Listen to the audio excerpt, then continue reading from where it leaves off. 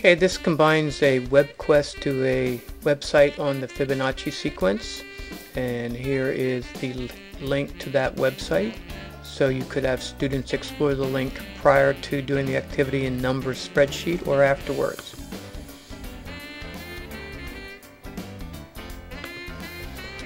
Over here in column B we're going to start by entering 0 in the second uh, cell down entering a 1 and then we're going to set up a formula to generate the Fibonacci sequence.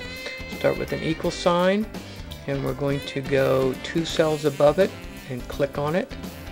Plus sign one cell above the formula click on it and press return. Before I press return I'm going to zoom in so you see my formula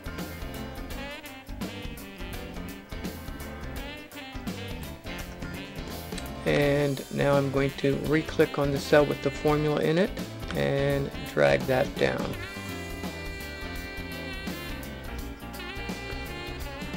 And going back to the top, we've quickly generated the Fibonacci sequence. And the task here would be to challenge students to try to come up with the appropriate formula to generate that particular sequence.